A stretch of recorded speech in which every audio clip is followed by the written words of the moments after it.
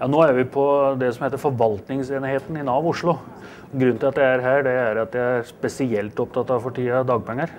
Eh, og For noen uker siden så begynte vi å sette inn eh, tiltak for at dem som har måttet vente for lenge på dagpenger, skal eh, slippe det.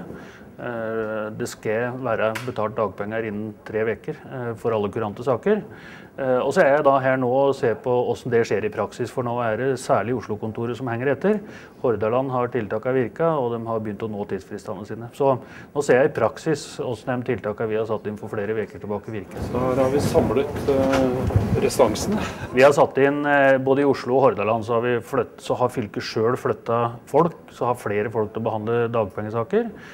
Eh, så får de hjelp fra andre fylker til å behandle dagpengesaker. Eh, og Nav sentralt har også satt av noen mennesker til å hjelpe til å behandle de her sakene. Så det er flere tiltak som er satt. Kan du si konkret hvor mye som er brukt på å få orden i Nav-krisa? Ja, Det blir brukt både penger, men ikke minst flytta folk. For det det, eh, det, som er situasjonen, er jo pga. økt ledighet, så var altså antall saker som ble behandla i desember 8000.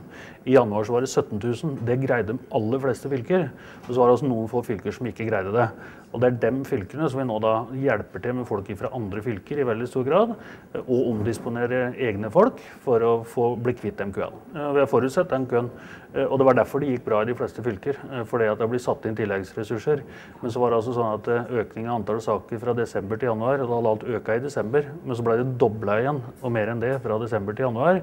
Og da var det altså to uh, fylker som den jobben ble for stor for. Men hadde vi ikke forutsett det her, så ville de fleste fylker fått problemer.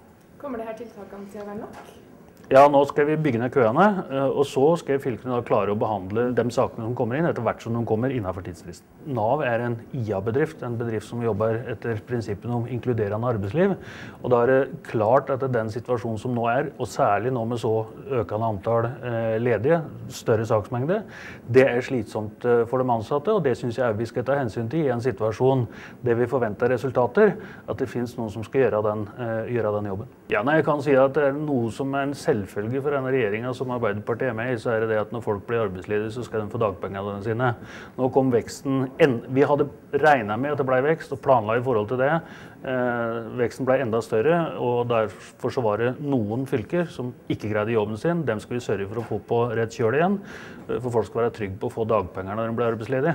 Og så skal vi sette mange tiltak for at de ikke blir arbeidsledige i tillegg. Nå er det bare Oslo igjen som har eh, et betydelig antall restanser. Der er det sagt inn ekstra tiltak. Det har jeg vært og kikka på nå. Og her holder de nå på å bli kvitt ventelistene.